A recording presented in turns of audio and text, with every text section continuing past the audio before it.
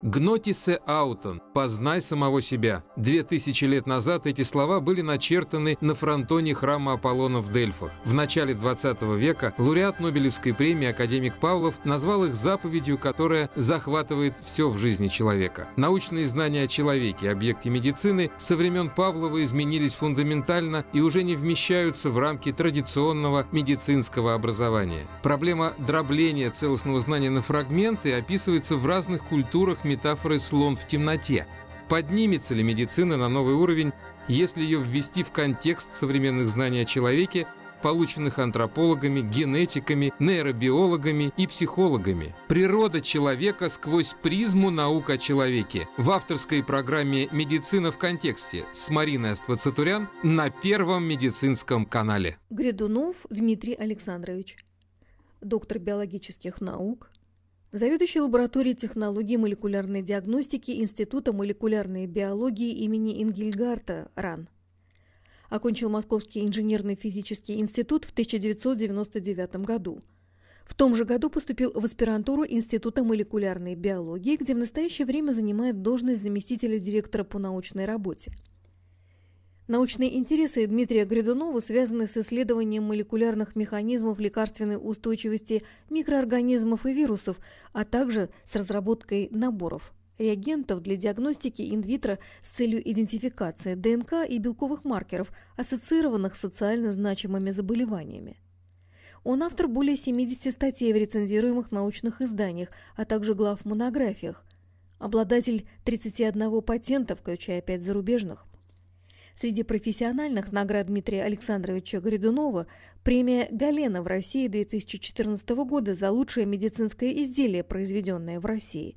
Это технология гидрогелиевых биочипов для медицинской диагностики. Дмитрий Гридунов в студии «Медицины в контексте». Здравствуйте, Дмитрий. Э, как вы знаете, наша программа посвящена человеку биологическому. И современные представления об этом человеке, они во многом в значительной степени опираются на его геномные данные. Э, проект «Геном человека», который ознаменовал конец 20-го, начало 21 века в науке, он имеет отчасти российские корни, это тоже общеизвестно. Российские геномные исследования, они развивались э, во многом благодаря новому подходу. Э, этот подход э, был основан на принципе э, определенном, о котором мы еще будем говорить. И он во многом определил вообще развитие всех этих исследований, поскольку он предлагал новый, новый способ изучения биологических макромолекул ДНК и белков – этот подход придумал и разработал академик Мирзабеков более 30 лет назад. Тогда это было совершенно революционно, ново, а, но сохраняет актуальность.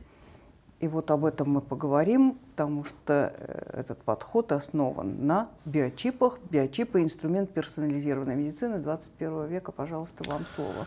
Здравствуйте, Марина. Сегодня поговорим о технологии биочипов, о том, как она развивалась и о тех приложениях, которые сегодня действительно вышли в клиническую лабораторную диагностику диагностику и позволили, пожалуй, что а, решить определенные задачи в плане лечения больных, э, э, ну, собственно, в плане лечения больных. Итак, ну вот действительно биотехнология биочипов, она зародилась 30 лет назад, на, э, в конце 80-х годов, несколько групп, в том числе и группа академика Андрея Дарьевича Мразобекова, директора Института молекулярной биологии имени Ингельгарта, предложила свои подходы.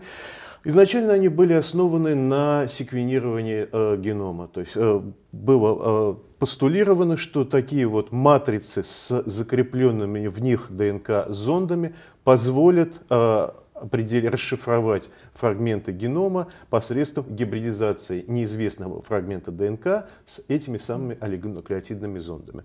И, собственно говоря, несколько групп, группа академика Марзабекова у нас, э, югославские ученые Дарманак и Черквиняков, и э, тогда уже Нобелевский лауреат СР Эдвин Саузерн в Великобритании одновременно, буквально в течение года, опубликовали и запатентовали свои предложения. Ну, собственно говоря, наверное, ключевым элементом вот такого классического понятия биочипа, или то, что в английском транскрипции microarrays, это матрица элементов с биологическими зондами, закрепленными на плоской поверхности. Вот здесь как раз таки показаны э, некие варианты предложений таких чипов, то есть вот, например, э, такие исходные варианты микрочипов, которые предлагались в нашей лаборатории, тогда еще э, э, совместно с Аргонской национальной mm-hmm. лабораторией США.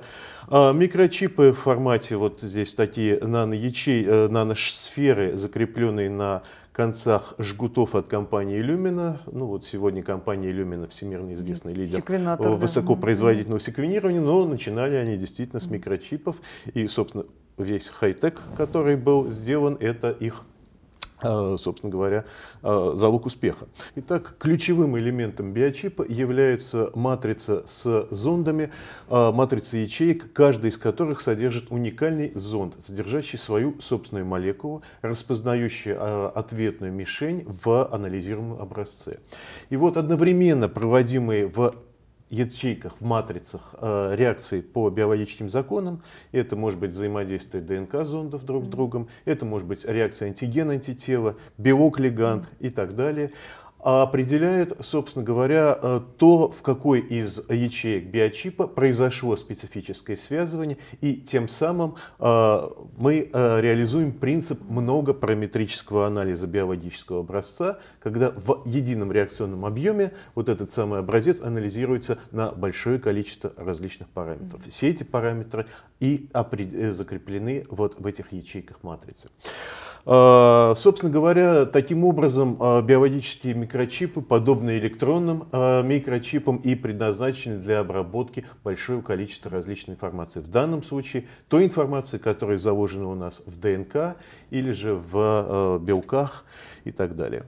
Ну, давайте вот еще раз возвратимся к моменту, собственно говоря, как изготавливают биочипы и что вот здесь схематично на этом видео показано, как происходит нанесение. Вот такой робот с наноиглой э, наносит э, отдельную каплю на подложку, а цвет означает, что каждая капля содержит свой отдельный биологический зонд.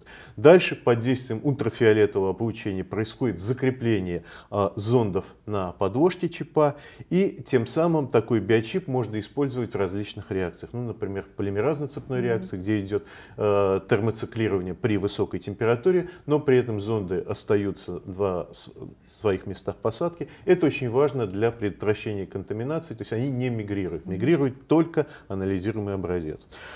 А, э, ну вот одним из основателей технологии биочипов был Андрей Давидович Мирзабеков, директор Института молекулярной биологии. И на самом деле то, что он постулировал порядка 30 лет назад, позволяет и сегодня оставаться этой технологией конкурентоспособной. Во-первых, он предложил закреплять вот на матрицах э, молекулярные зонды не на плоской поверхности, а вот в таких вот трехмерных mm-hmm. полусферах. Это ячейки гидрогеля. И действительно действительно а вот такая, мы называем ее иммобилизацией, то есть закрепление mm-hmm. зонда в, на поверхности или же в некой трехмерной структуре, действительно имеет ряд колоссальных преимуществ, которые и, собственно, позволило развить эту технологию применительно mm-hmm. к медицинской диагностике. Вторым важнейшим а, аспектом, который им постулировал, это флуоресцентная детекция. 30 лет назад все э, предпочитали использовать радиоактивную метку, mm-hmm. но сегодня, как мы знаем, флуоресценция это, ну, собственно говоря, наша повседневная жизнь. И действительно, такой метод и гораздо более чувствителен, и существенно дешевле, опять же, что немаловажно для практических применений. А, ну вот сейчас мы покажем, а, как наносят зонды, молекулярные зонды на подложки уже в современном варианте биочипа, в таком варианте вот пластиковом. Во-первых, вот здесь а, микропланшет, в который предварительно помещают молекулярные зонды, смешанные с фрагментами гидрогеля. И вот таким образом, видите, вот угу. такие подложки напоминающий шоколадки, и робот, э, захватывая элементы из определенного ковроца э, микропланшета, переносит на э, подложки, вот эти вот пластиковые подложки с точностью 5 микрон, капли объемом 0,1 нанолитра.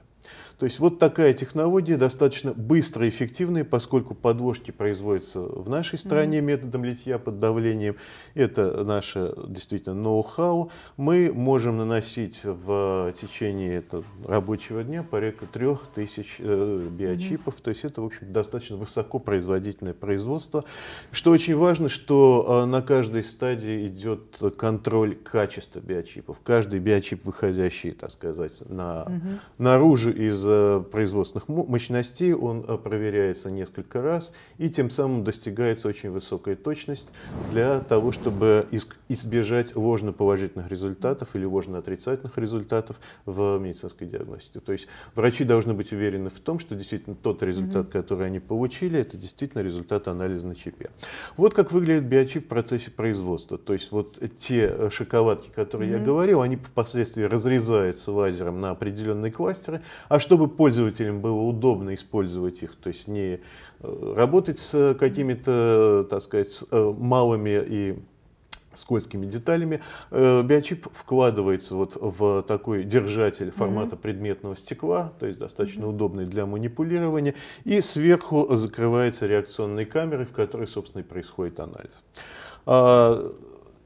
Как происходит анализ? То есть э, на биочип, э, в биочип, вот видите, вот эти вот полусферы, каждая из которых содержит свою собственную молекулу, они здесь схематично показаны. Разными фигурками. Да, разными фигурками. И, э, что важно, анализируемый образец предварительно флуоресцентно меченный, молекулы образца взаимодействуют по принципу ключ-замок с теми зондами, которые закреплены в ячейках биочипа. Ну вот посмотрим, как это выглядит на практике. Вот происходит раствор анализируемого образца, и молекулы ищут свои места угу. посадки. Там, где произошло специфичное связывание, соответственно, мы получили картину, которая э, определяет сигнал. То есть в, в этой ячейке мы видим яркое свечение флуоресценции. И вот одно из таких классических понятий совершенного и несовершенного гибридизационного комплекса, которое используется вот на биочипах, ключевое понятие, а именно в случае полного соответствия э, последовательности а, закрепленного в ячейке зонда и молекулы анализируемого образца, в данном случае ДНК по правилам комплементарности Чаргофа, мы имеем в соответствующей ячейке а, яркий флуоресцентный сигнал. Такой а, комплекс называется совершенным гибридизационным комплексом. В случае даже одного неспаренного mm-hmm. основания, то есть аденин mm-hmm. с э, гуанином не взаимодействует, мы понимаем, что взаимодействия не будет специфичным, не будет полным, и такой сигнал будет э, иметь э, интенсивность флуоресценции э, на несколько порядков mm-hmm. меньше.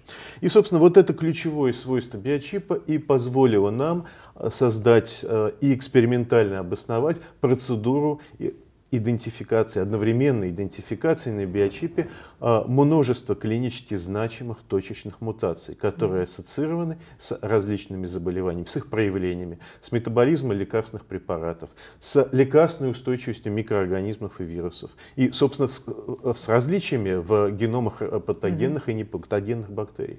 Вот, пожалуй, это тот э, принцип, который сегодня используется во всех ДНК-гибридизационных чипах. Для начала я буду говорить mm-hmm. о них. И впоследствии, э, собственно говоря, и он и определил, э, э, ну, скажем так, создание продуктов для э, клинической лабораторной диагностики. Как происходит э, стадия анализа с использованием биочипов в, уже в медицинской лаборатории? Ну, э, для начала берется биологический образец, это может быть капля крови, это может быть образец из легких, назофарингеальный мазок и так далее. Обрабатывается, выделяется нуклеиновая кислота, ДНК или РНК. Далее все мы благодаря коронавирусу знаем, что такое ПЦР. Да, да? ПЦР да. Соответственно, умножается она. Да, происходит амплификация соответствующих геномных локусов. И далее вот э, этот раствор, э, ПЦР-раствор, он наносится на биочип, то есть манипуляция достаточно простая, и э, в течение определенного времени инкубируется ну, при 37 градусах mm-hmm. или при комнатной температуре. И вот далее все в автоматическом режиме, э, поскольку произошло специфическое связывание, мы можем зарегистрировать это связывание с использованием специального прибора и э, проанализировать его на компьютере. Mm-hmm. ну, вот так выглядит прибор. Вот, собственно говоря, некая схема чипа, соответствующая тому, что заложено в самих э, ячейках. Все это делается автоматически, то есть разработчики конкретной э, системы, конкретного биочипа, они сами подбирают условия и рассчитывают э, пороговые сигналы таким образом, чтобы персонал диагностических лабораторий э, мог э, сейчас прошу прощения, мог э, всего-навсего нажать одну кнопку mm-hmm. и с использованием одной кнопки уже понять, а что, собственно говоря, получили в результате mm-hmm. анализа вот конкретного образца. Да, вот так mm-hmm. вот э, закладывается биочип, и далее вот с использованием mm-hmm.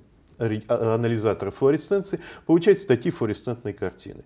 Но на самом деле матрица здесь порядка 220 ячеек. Видно, что одни из ячеек вообще не светятся, вообще, да. другие светятся достаточно ярко. И сравнение вот этих интенсивностей сигналов и позволяет установить в данном случае, в каких из ячеек произошло специфичное связывание. А зная, в каких ячейках закреплены какие зонды, мы можем однозначно говорить о том, что, собственно говоря, явилось причиной изменений в ДНК. Ну, в данном случае, вот видите, тут подсвечены красным mm-hmm. ячейки. Это такие мутации, я буду о них говорить чуть позже, которые определяют лекарственную устойчивость. Mm-hmm.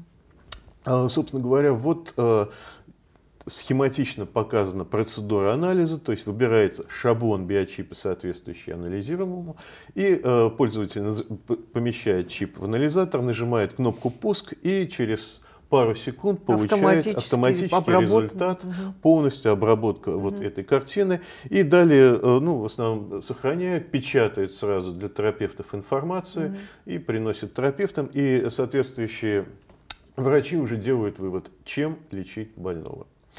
Ну вот, собственно, э, начиналось это а, с Э, на рубеже 2000-х э, годов. То есть мы от решения массы фундаментальных задач, связанных с тем, как установить э, ну, законы взаимодействия между молекулами закрепленных, то есть иммобилизованных зондов и молекулами анализируемого образца, как, э, собственно говоря, зарегистрировать сигналы, как создать э, анализаторы флуоресценции и так далее, мы перешли к приложениям для клинической медицинской диагностики и действительно создали э, некие, некую панель, некую, ну, действительно набор продуктов, которые сегодня используются в различных учреждениях, медицинских учреждениях.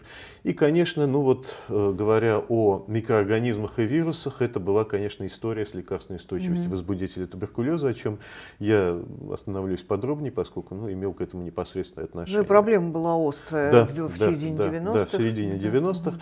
А далее это целый ряд задач, связанных с анализом генома человека, применительно, конечно же, к онкологическим заболеваниям в первую очередь. Вот лейкемия как основное э, онкологическое заболевание у детей раннего возраста. И здесь действительно чипы решали свои задачи. Это ряд задач, связанных и с другими, и с нейродегенеративными патологиями, исследованиями и с установлением причин э, и генетических mm. причин э, метаболизма, эффективности метаболизма различных э, противораковых препаратов. Ну и, наверное, сегодня одна из таких тоже важных задач – это задача, связанная не с анализом ДНК, а с анализом различных белковых маркеров, маркеров mm. белковой природы. Mm-hmm. И здесь надо выделить, конечно же, и определение различных онкомаркеров, э, и установление причин аллергии в каждом конкретном случае, об этом я тоже немножко расскажу, выявление им, э, аллерген-специфичных иммуноглобулинов различных классов. Конечно же, мы э, не можем остаться в стороне от текущей ситуации с коронавирусной инфекцией и делаем тоже, э, так сказать, в рамках своей задачи, используя преимущество вот, э, технологии биочипов, делаем такую задачу и э, развиваем также истории с поиском маркеров аут, развития аутоиммунных заболеваний, что действительно и ревматоидный артрит, mm-hmm. и специфическая Склероз. волчанка, и другие, другие. и склероз. В том, да, совершенно mm-hmm. верно. И в том числе и заболевания эндокринного генеза. То есть биочипы вообще сегодня охватывают достаточно широкий спектр задач молекулярной диагностики, относясь как к анализу ДНК, так и к анализу Э, собственно говоря, э, белков. И, соответственно, ну что, одна из таких вот проблем, которая остается чрезвычайно важной и регулярно Всемирная организация здравоохранения подчеркивает, это лекарственная устойчивость микроорганизмов. Сегодня ведущие фармкомпании практически не вкладывают в э, так сказать, средства в развитии новых антибиотиков, да. просто исходя из той ситуации, что бактерии развивают к ним устойчивость быстрее, чем, чем они внедряются успеет, да. в практику. И поверьте, это действительно так. Вот на примере возбудителя туберкулеза мы действительно это увидели. И, собственно, работа – это такой большой консорциум, который работает на протяжении ну, 20 лет, с 2000 года, с учреждения противотуберкулезной службы. Когда-то они пришли к нам, и мы решили, что давайте попробуем э, вот решить некую фундаментальную задачу, связанную с э, определением устойчивости, к выявлением генетических детерминантов устойчивости к наиболее эффективному препарату э, первого ряда рифампицина, такой золотой пулей, которая убивала туберкулез и в 70-е, и в 80-е годы. И казалось, что в принципе этой инфекции, ну, в общем-то, ее уже не существует. Но болезнь вернулась в 90-е. Отчасти это было связано с ну, неконтролируемым применением э, неких коктейлей, такая система терапии DOTS, DOTS+, когда пациентам в 90-е давали 4 препарата в одной таблетке, и, поверьте, это запустило просто фантастический по скорости молекулярный механизм эволюции возбудителя туберкулеза, вот этой микобактерии, когда э, и сегодня, несмотря на то, что в принципе инфекция сейчас взята под контроль, во многом благодаря внедрению вот этой вот технологии, которая э, с 2005 года, получив регистрационное удостоверение Росздравнадзора, позволила, в общем-то, переломить ситуацию на, в плане вот лекарственной устойчивости, понять, понимаете, как выявлять детерминанты в случае, вот этот был такой биочип для детекции лекарственной устойчивости к наиболее двум эффективным препаратам, эфампицину и изониазиду. В случае, если определялись мутации в ДНК конкретного mm-hmm. изолята, получаемого от пациента, то ему сразу назначали терапию резервными препаратами, mm-hmm. вторхинолонами, инъекционными препаратами. И это действительно э, явилось ну, вот таким переломным моментом, что называется, поскольку каждый э, пациент, приходящий в клинику и действительно имеющий диагноз ну, легочный туберкулез, его образец анализировали, получали вот эти картинки и решали, чем лечить больного. Э, в 2005 году мы зарегистрировали этот тест. Министерство здравоохранения, э, ну, скажем так, разрешило нам пилотный эксперимент сначала в восьми крупнейших противотуберкулезных центрах России. Это были Москва, Санкт-Петербург, Екатеринбург, Новосибирск, Саратов. И, собственно, увидели, что да, действительно, эта технология работает. Да, эта технология не просто работает, но позволяет спасать людей. И более того, был Минздрав оценил, собственно говоря, и экономическую эффективность угу. за счет того, что сокращалось время пребывания больного в стационаре, за счет того, что ему давали сразу, сразу. те препараты, которые именно работают, не, собственно, вот эти коктейли, и не, не, не, не было необходимости ждать несколько месяцев до получения результата. Ну вот, собственно, эта технология пошла в практику, и вот сегодня, видите, вот достаточно большое количество э, и российских, и э, стационаров учреждений противотуберкулезной службы из стран СНГ и лаборатории Федеральной службы исполнения наказаний, поскольку тюрьмы это да. источник, один из основных источников вот, формирования и распространения устойчивости да, вот тогда, возбудителя вот туберкулеза. Они успешно используют вот, собственно, эти чипы для того, чтобы лечить людей. То есть лечить людей в смысле того, как э, влияет результат теста на следующий день после его проведения для того, чтобы у больного прекращалось бактериовыделение, у э, больного действительно э, ну, проходило заживление легких, то есть закрытие вот этих каверн. То есть это вот эксперименты Минздрава, мультицентровые исследования, когда пациентов делили на несколько групп, и, соответственно, одна была контрольная группа, когда она ждала результатов э, анализа по результатам микробиологического посева, а это несколько месяцев, и далеко не всегда результат был эффективен. А вторая группа получала лечение сразу. И вот видно, что, видите, вот э, третья группа это, это процент больных, угу. а это месяцы. Соответственно, вот это была контрольная группа, которая лечилась по результатам классического анализа посева. А это те больные, которые, собственно говоря, получали терапию на следующий день. Это больные с чувствительной формой туберкулеза или больные, которые были уже устойчивы, выявлена устойчивость. Соответственно, ну вот э, результаты очевидны, то есть э, процент э, излечившихся больных, он действительно в разы mm-hmm. при применении вот этой технологии гидрогелевых биочипов для диагностики лекарственной устойчивости туберкулеза. Но проблема не остановилась на этом. Это все было замечательно где-то в, на рубеже 2010 года, но микобактерия развивала свою устойчивость и дальше. И, собственно, остановить ее практически невозможно и сейчас, ее можно только контролировать. То есть вот следующим поколением таких вот э, биочипов для анализа возбудителей туберкулеза стал э, вот, набор реагентов, который определял устойчивость ко всем препаратам первого и второго ряда. Mm-hmm. Потому что, поверьте, существующий спектр э, препаратов для терапии возбудителя туберкулеза он крайне ограничен. То есть, ну, просто потому, что это такой, так сказать, нано- или микротанк, обладающий композитной броней, и те же пенициллины и масса mm-hmm. других препаратов просто не проникает через клеточную стенку. Поэтому очень важно вот в существующем крайне ограниченном спектре э, препаратов найти именно те, которые будут действовать на конкретного больного. То есть больные с широкой лекарственной устойчивостью, они действительно представляют реальную опасность для людей, то есть на тех, у которых, ну вот здесь, э, на тех, у которых вообще не действуют ни одни противотуберкулезные лекарства.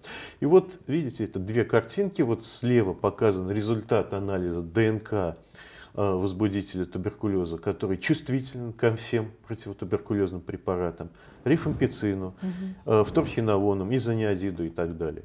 То есть такого пациента, ему повезло, его можно лечить, и он будет излечен. А справа, соответственно, ситуация, когда в ДНК в микобактерии существуют мутации, приводящие к устойчивости. Но, по крайней мере, к инъекционным препаратам, аминогликозидам мутации нет, и, соответственно, этими препаратами можно по меньшей мере так сказать, продлить жизнь больного. Ну, что мы видели вот в процессе из наших исследований с использованием чипов, в процессе вот применения его в различных регионах России, что, к сожалению, сегодня в России в отношении возбудителя туберкулеза доминируют такие достаточно опасные э, генотипы семейства Бейджинг, угу. пекинский угу. Э, вариант, который характеризуется и широкой, и множественной лекарственной устойчивостью. И они все больше вытесняют вот такие вот желто-зеленые формы, то есть зеленые чувствительные, желтые это полирезистентные, то есть ну, варианты, которые устойчивы к отдельным препаратам. Все больше становится их здесь, и это действительно задача э, контроля вот этих угу. вот форм, контроля каждого пациента, она сегодня чрезвычайно важна. И в принципе вот наш разработанный нами метод, он как раз таки эту задачу решает.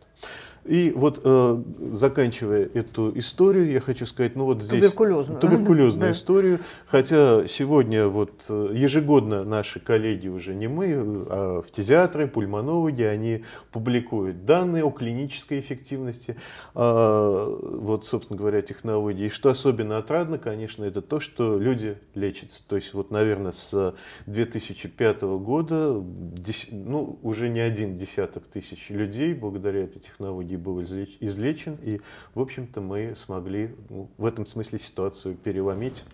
Вот, э, и, а, в общем-то, я хотел сказать, что вот сегодня вот этот ТБ-тест, вот видите, здесь угу. отложены, что называется, различные противотуберкулезные препараты с разной степенью эффективности.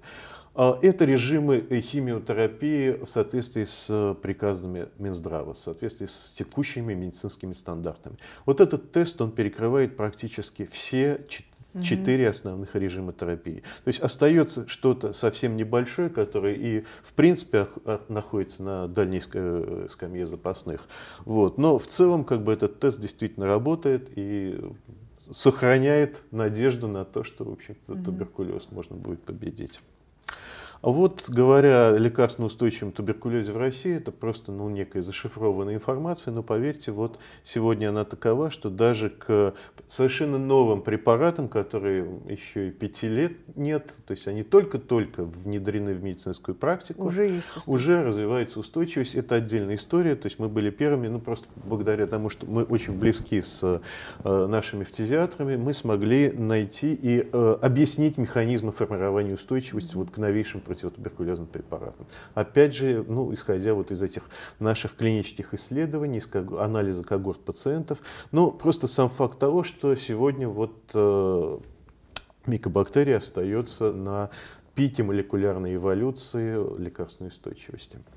История, вот, э, касающаяся возбудителей туберкулеза. В то же время я очень кратко хотел бы рассказать, ну, наверное, э, другую историю, где чипы, э, биологические микрочипы заняли свое место. Это история о инфекциях, э, возбудителях, э, возбудителей инфекций органов репродукции, к которым относятся, как известно, облигатные патогены, такие как возбудители сифилиса, сифилиса или гонореи, но и целый ряд условно патогенных микроорганизмов, которые при определенных нарушениях микрофлоры способны вызывать воспалительные процессы.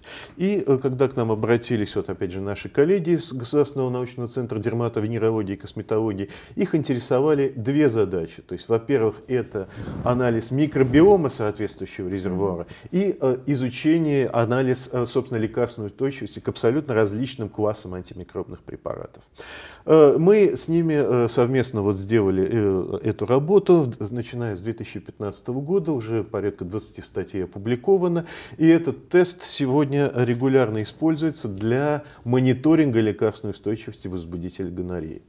Как и туберкулез, э, этот гонокок, он характеризуется совершенно невероятными способностями развивать лекарственную устойчивость.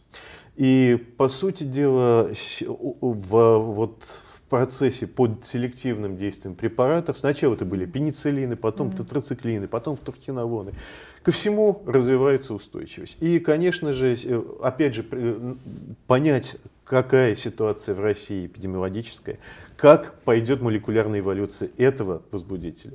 А, вот эта задача, она была решена с использованием чипов, наверное, в полном объеме, когда мы ежегодно, а, получая образцы от наших партнеров, анализируем mm-hmm. из ну, порядка 40 регионов России вот такой пул образцов, смотрим и действительно видим, что ситуация на самом деле, в отличие от туберкулеза, с гонококком отнюдь не настолько драматичная.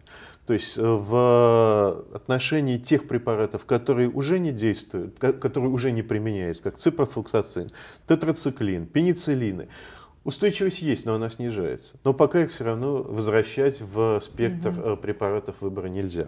В то же время, что касается цефтриаксона, это э, антибиотик из класса цефалоспоринов угу. третьего поколения, то, поверьте мне, в России его можно применять, лечить э, пациентов совершенно спокойно, в отличие от того, что происходит в странах э, Западной Европы, США, в Японии, где действительно доминируют мультирезистентные клоны. Статьи 2020 года говорят о том, что в Китае уже порядка 50% больных э, гонококковой инфекцией просто невосприимчивы ни к одному антибиотику. У нас в России, вот, в отличие от туберкулеза, ситуация абсолютно спокойная и стабильная, и действительно вот как бы используя наш метод, можно было, э, так сказать, решить, э, мы смогли решить эту задачу, и в принципе, я так думаю, что текущее закрытие границ, оно будет способствовать только, так сказать, да, снижению напряженности да. и стабилизации в данном вопросе. А, я теперь э, расскажу немножко о задачах, которые, так сказать, непосредственно применяются для анализа генома человека. Да, безусловно, сегодня полногеномное секвенирование и э, задачи, связанные с расшифровкой полной последовательности генома, э, так или иначе будут вытеснять вот этот класс чипов, потому что биочипы для анализа генома человека, они применяются для вот самых острых вопросов, а именно это онкология, это вопросы, связанные с, опять же, терапией, э, химиотерапией онкологических заболеваний, с нейродегенеративным заболеванием. То есть э, биочипы, э, они развивались действительно тоже, такие биочипы развивались с середины 2000-х ну, годов, и на тот момент очень хорошо решали задачи выявления наиболее клинически важных ДНК-маркеров. Вот применительно к анализу э, маркеров э, таких хромосомных перестроек с образованием э, химерных или слитных генов, которые, собственно говоря, определяют группу риска у пациентов с диагнозом лейкемия, особенно у детей, поскольку лейкемия это наиболее близкие, ну то есть наиболее распространенный тип онкологического заболевания у детей. И здесь было очень важно сразу определить э, тип хромосомной транслокации, вот, собственно, тип вот той перестройки, угу. поломки угу. в геноме, которая и определяет, а как пойдет, собственно, болезнь, какой прогноз и чем лечить больного. То есть, чем лечить пациента, то есть, либо это будет трансплантация костного мозга, либо это высокодозная терапия тяжелыми химиопрепаратами, либо это, например, в зависимости от конкретной поломки в геноме, это может быть, вот видите, трансфлокация Т15-17 и соответствующие ячейки засветились. Это значит, что терапия трансретиновой кислотой, достаточно мягкая щадящая терапия, она приведет к, вот, что называется, к ремиссии у то есть такой дифференцированная терапия это очень важно. Да, это очень деле. важно. И вот этот тест он был использован тоже в мультицентровых исследованиях и действительно очень, очень хорошо применяется. И сегодня применяется в детском гематологическом центре имени Димы Рогачева вот, для того, чтобы вот, так сказать, угу. на начальном этапе просто э, отбирать больных и, соответственно, по э, разным когортам. Это очень важно. Конечно же, задачи, связанные с выявлением отдельных полиморфизмов в геноме человека или мутаций, приводящих к предрасположенности там, к раку молочной железы, ну, то, что называется, да, мутация mm БРЦА, это имени Анджелины Джоли, как сейчас да, да, говорить. Вот, эти э, чипы, они тоже нашли свое применение, здесь как бы э, в определенный момент использовались для скрининга и в онкологическом центре имени Бухина, и в других учреждениях. Ну вот, наверное, таким э, интересным и современным примером данной технологии является анализ э, собственно говоря, соматических мутаций, определяющих тип терапии вот, вот такой э, нехорошей опухоли, как меланома. Ну, известно, что прогресс в лечении меланомы был связан с созданием таргетных ряда таргетных препаратов и с э, внедрением иммунотерапевтических препаратов. Все их эффективность, она определяется на геномном уровне. То есть есть целый э, кластер мутаций и полиморфизмов в ДНК человека, проанализировав, э, соответственно, опухоль, можно понять, чем лечить конкретного больного с меланомой. Опять же, это можно сделать очень быстро, то есть на следующий день, получив результат, и дальше определить направление терапии. Вот здесь приказан пример.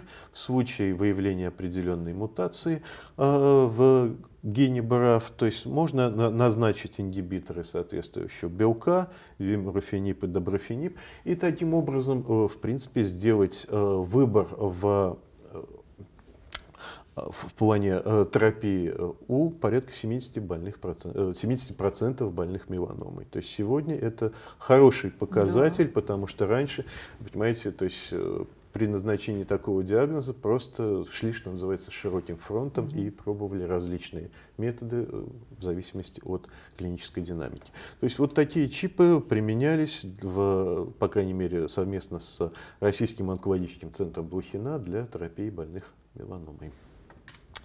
А, я, пожалуй, пропущу эту задачу и расскажу немножко о мультиплексном иммуноанализе на гидрогелевом чипе. Это другое направление. То есть, опять же, повторюсь, что если применительно к анализу ДНК, э, сегодня биочипы занимают некую промежуточную нишу mm-hmm. под, снизу подпираемые различными тестами на основе полимеразной цепной реакции, mm-hmm. надежными, моноплексными, может быть не решающими широкий спектр задач, как чипы, но тем не менее они просты и эффективны. С другой стороны, сверху есть технологии полногеномного секвенирования, которые э, выявляют в любом случае достаточно больший спектр маркеров. Успешность их внедрения во многом определяется ну, тем, ну, конечно же, стоимостью анализа, тем, насколько эффективны будут э, методы обработки данных и эффективны методы обработки исходного биологического образца.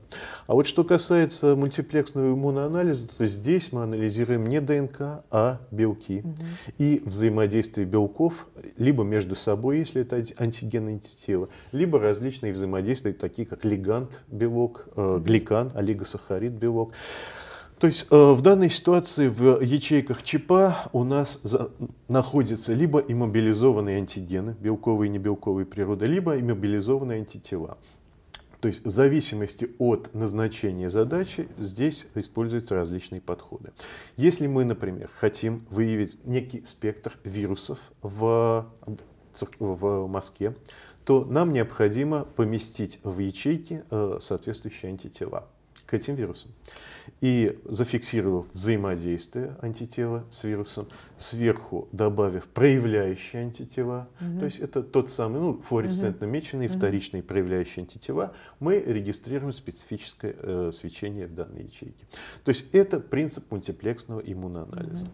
И вот э, такими примерами, э, наверное, одним из наиболее ярких примеров такого подхода является созданный нами совместно с э, германской биотехнологической компанией доктор Фуке биочип для анализа различных э, аллерген-специфичных иммуноглобулинов различных классов, в первую очередь, конечно, класса Е и IgE, поскольку именно они определяют mm-hmm. развитие аллергии по первому типу, это атилквинки и так далее. И, собственно говоря, ну вот здесь так схематично показано, видите, скарификационный mm-hmm. тест на основе кожных проб для оценки того, на что, собственно, у пациента произошла аллергия, он может быть заменен на анализ сыворотки крови с использованием mm-hmm. планшета, а можно взять 50 микролитров этой сыворотки и проанализировать ее на биочипе, на получив просто вот такую картинку, которую дальше можно проанализировать и понять, а какие, собственно говоря, что явилось причиной, какой аллерген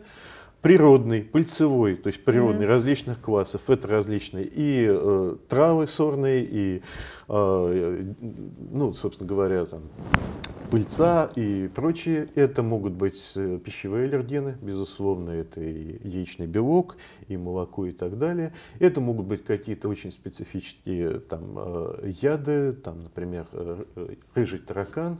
Это могут быть материал от домашних животных, дома, э, кошки, Рыжий собаки. И так Да, весь очень аллергенный, весьма аллергенный. Ну вот, собственно говоря, такой биочип, он определяет, э, сегодня выявляет э, причины аллергии, то есть уровень аллерген-специфичных иммуноглобулинов класса Е вот к достаточно большому спектру, их там всего 44 таких аллергена и, соответственно, 44 различных варианта развития аллергии. Видите, то есть пыльца деревьев, сорных трав, луговых трав, злаков, аллерген домашней пыли. Ну, вот я говорю, mm-hmm. вот тут есть и этот товарищ тоже. Вот, аллерген плесени и целый кластер пищевых аллергенов. Конечно, э, мы эту работу делали совместно с детской Филатовской больницей, mm-hmm. смотрели большое количество пациентов на протяжении нескольких лет для того, чтобы, ну, во-первых, понять, а что происходит с возрастом, то есть какие аллергены mm-hmm. доминируют на ранней стадии развития человека, какие меняются. Ну, конечно же, э, понятно, что с возрастом, то есть на ранней стадии это все те же яичный белок, там, mm-hmm. кровь молоко. С возрастом, видите, о, а потом а, все больше появляет, начинают проявляться аллергены другого класса, mm-hmm. SIGG4.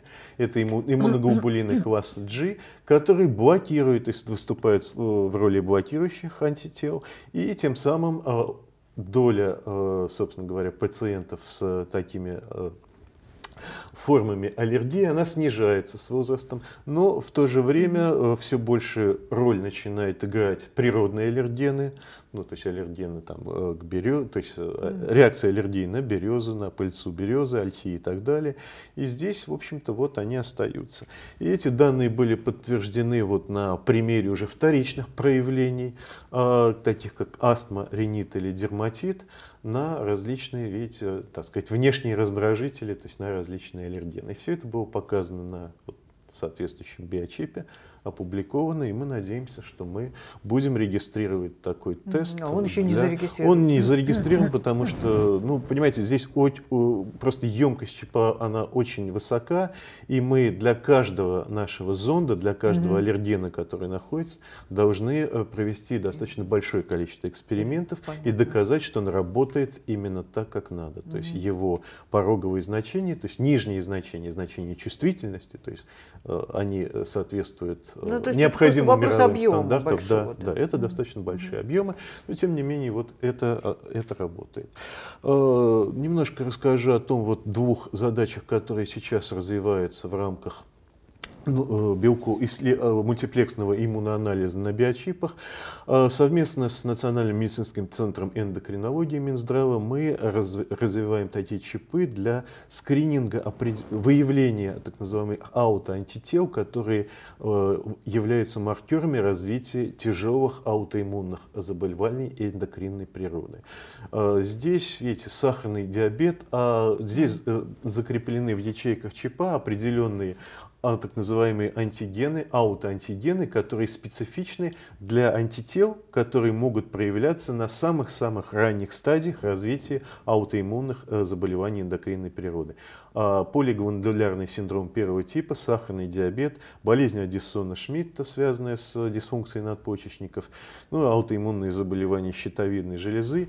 То есть вот э, мы надеемся, что вот такой метод, э, он будет не только контролировать эффективность терапии, ну и, возможно, станет скрининговым, угу. по крайней мере, для того, чтобы понимать, а, с чем мы вот, имеем дело. Да, угу. вот, собственно говоря, а, на самых ранних стадиях клинического проявления, как можно будет собственно mm говоря, какие меры можно будет принять для того, чтобы предотвратить развитие того же, например, сахарного диабета. А, в отношении коронавирусной инфекции, да, безусловно, сегодня сделан целый ряд замечательных тестов, которые действительно эффективно, четко определяют, во-первых, наличие вируса в мозге, это понятно, это методы, основанные на амплификации нуклеиновых кислот. Есть методы, которые прекрасно также определяют наличие иммуноглобулинов э, класса М на острой стадии, класса G, G чуть попозже. позже. Конечно, для этого чип не нужен. Но в то же время вот то, ту картину, которую мы имеем сегодня, она во многом непонятна. Почему одни люди заболевают, другие не заболевают, как э, связан даже в одной семье, как связан иммунитет. Может быть, у нас есть, э, мы уже имеем иммунитет, например, к тем коронавирусам, которые циркулировали в нашей популяции немножко Прежде, раньше, да. а их на самом деле не так мало патогенов, да. для человека их там более пяти. Например, э, как, э, меня, как зависит иммунитет, если человек э, ну, болен там, гриппом, или там респираторными вирусами. И здесь действительно биочип это один из наиболее интересных таких вот а, а, пока еще аналитических, наверное, не диагностических инструментов, где мы э, на одном чипе можем смотреть антитела к разным коронавирусам, смотреть Э, вирусом гриппа типов А и Б, респираторно-эссенциальному вирусу, различным аденовирусам, вирусам парагриппа. То есть посмотреть, а, собственно говоря, вот сейчас у нас будет осень, у нас mm-hmm. будет э, волна различных о, респираторных заболеваний. И вот с использованием такого чипа можно будет Разделить узнать, а что просто. это, коронавирус, может быть это не тот корон, не SARS-CoV-2, mm-hmm. а что-то из, mm-hmm. так сказать, прошлого. То есть э, человек имел контакт э, ранее с другим коронавирусом. Может быть, это вирусы гриппа, э, сезонный или предыдущий, а может быть, это просто ОРВИ, и тогда никакой специфической терапии, тем более вот и соответствующего помещения в стационар не требуется. То есть вот эта задача, которая э, решает микрочип в данном вопросе, это, безусловно, э, одновременный анализ большого количества различных параметров. Вот, собственно говоря, это его основное свойство. Я вот на этом, наверное, хотел бы остановиться. Но немножко расскажу о будущем, куда мы смотрим вот вперед. Э, в нашем институте и вот сегодня в рамках э, федеральной научно-технической программы развития генетических технологий на 2019-2027 годы проведен конкурс по созданию геномных центров мирового уровня. И э, наш институт является организацией координатором по направлению, э, вот такого координатором такого центра геномных исследований по направлению генетические технологии для медицины. То есть наш центр называется Центр высокоточного редактирования генетических mm-hmm. технологий для биомедицины. И, э, собственно говоря, направлениями основными, одними э, нашими задачами является собственно, вот создание ну, препаратов нового поколения, основанных на технологиях геномного редактирования для лечения больных. Создание э, улучшенных геномных редакторов, поскольку точность и эффективность существующих методов редактирования, внесения точечных изменений в геном, на, на что все так надеются, в принципе, пока недостаточно. Ну да, есть, есть, есть, есть нецелевые. Да, нецелевые оф-таргеты, которые, конечно же, это большие риски развития. Скажите, пожалуйста, а вот кроме да. э, э, болезни крови, вот первое, что мне приходит в голову, или там глаза. Да, да. да. Вот что еще подвластно э, этому редактированию, потому что ну, организм большой, клеток да, много. Организм большой. Есть глубоко сидящие. как, как это редактировать? Я, я как биолог, я просто не понимаю. А, как. Ну, безусловно, подход связан с э, созданием пула клеток, отредактированных mm-hmm. полуклеток и введение их в организм. А, таким вот э, наши коллеги, тоже входящие в наш центр из Российского национального медицинского университета имени Пирогова, фокусируются на решении задач, связанных с наследственной глухотой. Ну, Там был есть... у нас Денис Вебриков, да, Денис он, он у нас конечно, был, да, конечно. в этой вот, программе. Наверное, наверное, надо с чего-то начинать, и в принципе это хорошая модель. Если, mm-hmm. если да, мы решим эту задачу, это будет замечательно. Если ну, там удастся... речь идет о половых клетках, об, да, об эмбрионах, да, точнее, да. половых. Если удастся решить задачу э, создания модифицирования клеток, устойчивых к заражению ВИЧ-инфекцией, то есть изменение определенного Ну, вот так, чтобы не касаться эмбрионов. Взрослого человека, а, по-моему, Взрослого человека нет. Невозможно. Пока еще невозможно. Только кровь можно, да. да. да и глаз, да, поскольку он да, снаружи да, торчит. Да, да. Пока так. Да. Пока так. То есть то я есть правильно мы, это понимаю? Да, вы абсолютно правы в этом смысле. То есть вот эта задача, связанная с э, созданием угу. таких вещей. Это понятно. А, второй уровень – это создание новых геномных редакторов. Следующая задача – это, вот вы упоминали, онколитические вирусы угу. и методы иммунотерапии. Четвертая задача связана с созданием животных моделей заболеваний с использованием технологии геномного редактирования. И, например, и последняя задача, которую мы предлагаем, это применение вот этих ферментов, которые используются, нуклеаз, который используется для редактирования, для детекции мишень последовательности нуклеиновых кислот. Мы полагаем, что можно совместить э, наши технологии гидрогелевых вот этих биочипов и э, сделать такие вот гибридные молекулы, совмещающие э, Э, молекулы э, вот, фермента КАС-13 угу. соответствующими зондами, их называют направляющие зонды. Угу. И все это поместить в одну ячейку. Ну, и ранковые, и ДНКовые угу. и так далее. И в случае специфического взаимодействия э, анализируемой молекулы ДНК или РНК с тем, что у нас находится в ячейке, происходит активация соответствующего фермента, он, что называется, сходит с ума, и далее он работает только в данной ячейке, и мы видим свеч... соответствующую флуоресценцию и свечение э, соответствующего элемента. То есть здесь это, ну, мы их назвали такие CRISPR биосенсоры, это, в общем-то, новый абсолютно подход, который будет вот совмещать в себе две преимущества двух технологий. Это простота, скорость и изотермичность за счет вот применения э, ферментов э, нуклеаз и вот все наши, так сказать, достоинства, возможности вот Э, технологии гидрогелевых биочипов, умение проводить ферментативные реакции, угу. чувствительность, э, ну, так сказать, готовность к производству, поскольку все это у нас налажено, соответствующая унификация проведена. Мы надеемся, что вот такая технология, она займет свое место и не только в лабораторной диагностике, применительно к ну, клиническим лабораториям, но и в плане то, что называется lab on chip у постели mm больного, когда mm эти тесты будут просты настолько, что их можно просто зажав в руках, проводить реакцию и потом смотреть Быстренько. с использованием портативного угу. анализатора. Вот, пожалуй, Спасибо так. большое. Да. Я надеюсь, что все это найдет отражение постепенно в нашей, будет находить отражение в нашей Мы программе. Очень надеемся. Спасибо. По скриптуме, Дмитрий Александрович, у меня на самом деле два коротких вопроса. Один про вживляемые гидрогелевые чипы. Вот я вычитала для диагностики. Э, в том числе. Э, насколько это реально, американское агентство DARPA обещает в 2021 году сделать такие для диагностики того же самого ковида вот, вживляемые. Это, это первый вопрос, может быть, сразу даже задам второй, вы отвечаете, как вам удобно. Э, про патентование хотела спросить. Рынок биочипов огромен, мировой рынок. Это многие миллионы, миллиарды, да, десятки миллиардов должна быть очень жесткая конкуренция, да. в том числе и в области патентования. Как вы с этим справляетесь? как вы выживаете, каково да, вам да, на да, мировом да, рынке. Хорошо. Э, постараюсь, э, так сказать, ответить на, с удовольствием на оба вопроса.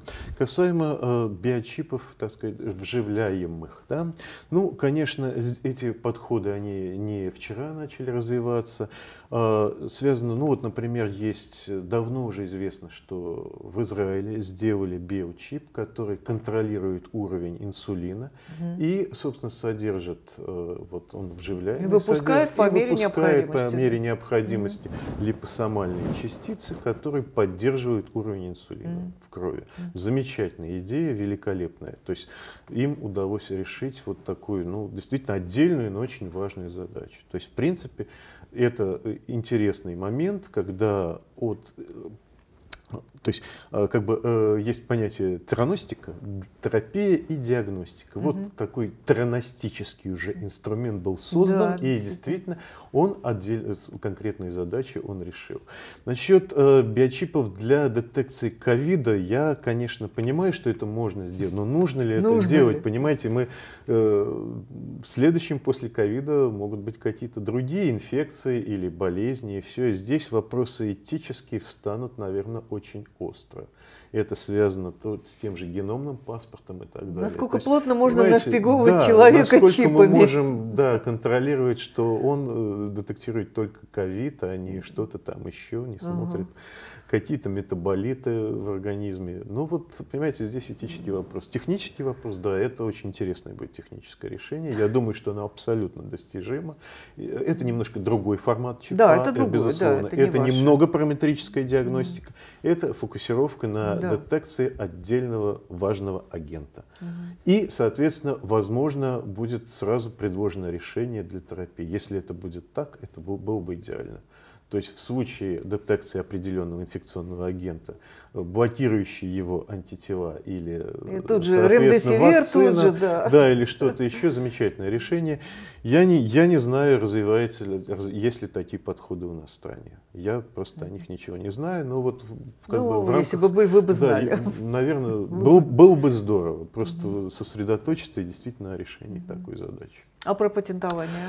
Знаете, ну, патентование, да, это вопрос, который мы э, с самого начала, собственно, еще Андреем Даричем да, был. Собственно, аргонская история. Да, да аргонская вот история. Был, У нас было еще несколько таких историй, да. связанных с зарубежным патентованием. То есть вот... Э, Стоило, конечно, нервов, да. Сейчас да. Э, расскажу. Ну, э, история следующая. Понимаете, зарубежное патентование... Вообще патент, э, с нашей точки зрения, это инструмент, который должен работать. Не... Мало получить патент его надо продать, его надо лицензировать. Угу. Только тогда угу. можно сказать, что да, действительно, вот интеллекту, инте, э, созданная, интеллектуальная, да. нет, созданная интеллектуальная собственность, она вложена, она работает.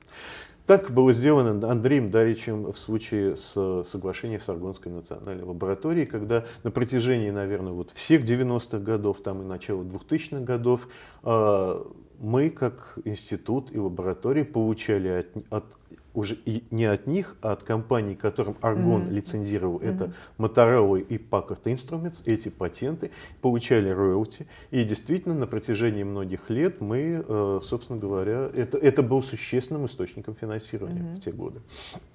Конечно, мы со своей стороны попытались эту же ситуацию э, организовать и у нас в стране. Мы создали дочернюю компанию при институте по 217 федеральному закону. И в качестве уставного капитала мы внесли э, право, исключительное право на использование 19 патентов, защищающих технологии гидрогелевых биочипов. И эта компания сегодня производит вот эти продукты, биочипы, на условиях лицензионных соглашений. Mm-hmm. Она продает их для диагностики туберкулеза, для диагностики различных mm-hmm. заболеваний, ну, онкологических заболеваний человека и других. И тем самым вот эти роялтис ежегодно возвращаются в институт в качестве внебюджетных mm-hmm. средств и используются для, э, собственно говоря, вклада для следующих разработок. разработок. Да. Mm-hmm. Говоря о зарубежном патентовании, это большие средства. Если до 2013 года, когда в Российской Академии Наук существовал отдел, который э, по патентованию, который совместно с угу. экспертами выделял средства на первичную э, патентную заявку, э, на то, чтобы угу. ее запустить по процедуре PCT, А далее ежегодно мы обосновывали необходимость поддержания патентов, потому что стоимость поддержания зарубежного патента из года в год она угу. растет очень серьезно. Сейчас, конечно, к сожалению, такого вот в плане э, и в Федеральном агентстве научных организаций, Министерстве образования, э, э, Министерстве науки и высшего образования, пока такого отдела нет. То есть мы стараемся приоритетные для нас вот эти патенты, которые, mm-hmm. так сказать, для нас важны, как портфолио института mm-hmm. поддерживать просто из ну, Сами. собственных средств. Но день, э, средства это достаточно большие. А, ну, в качестве одного из примеров я просто не стал затрагивать эту э, работу. Просто вот у нас была задача вот совместная а, с да, да, да. французской лабораторией вирусологии госпиталя университета города Тулуза, где мы разработали биочип для а, идентификации различных вариантов вируса гепатита С. Вот. Это была замечательная такая совместная Э, история, я в ней принимал, можно сказать, ключевое участие. И вот был получен целый ряд патентов и европейских, и евразийских совместных, и потом российских. Э, собственно говоря, мы рассчитывали на то, что была привлечена французская компания Argent Biosoft для доведения уже и сертификации вот этого теста по стандартам ЕС, поскольку у нас были замечательные диагностические характеристики, мы очень хорошо опубликовали эту работу, и на протяжении там пары лет они занимались этими вот mm-hmm. вопросами, но далее, поскольку действительно среда высококонкурентная, mm-hmm. и так получилось, что они были просто, поскольку компания маленькая, поглощены, поглощены. транснациональным гигантом компании Баймерио, mm-hmm. вот, у которой были свои интересы, то есть мы рассчитывали на то, что ну, эти понятно. патенты будут лицензированы.